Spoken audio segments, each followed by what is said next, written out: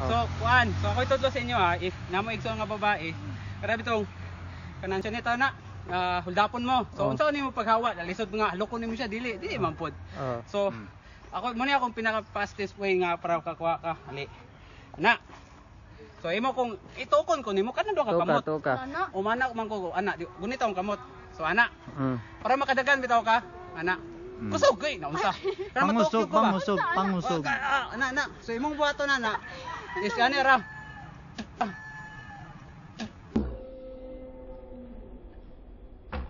Agama kowe kawayaten. Toto asaki panengen. Ngunit ang ikaya kapen. Naglalaho sa delin. Ninais ko mapalapit sa'yo. Ninais ko malaman. Tropa guerreira, tu lá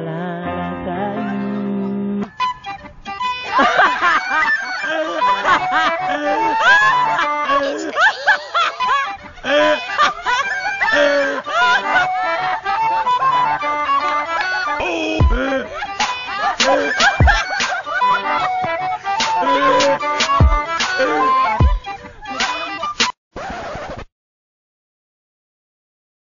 Diba? Kana kana imo imo kung kuanon ba? Oh, Tukon. Ana ana. Na siyempre kay Pero nga pod. Oh. Ana. Then pag umaan sa ano pag tangtang bitaw. Mm. Oh, nakabuhay ko no.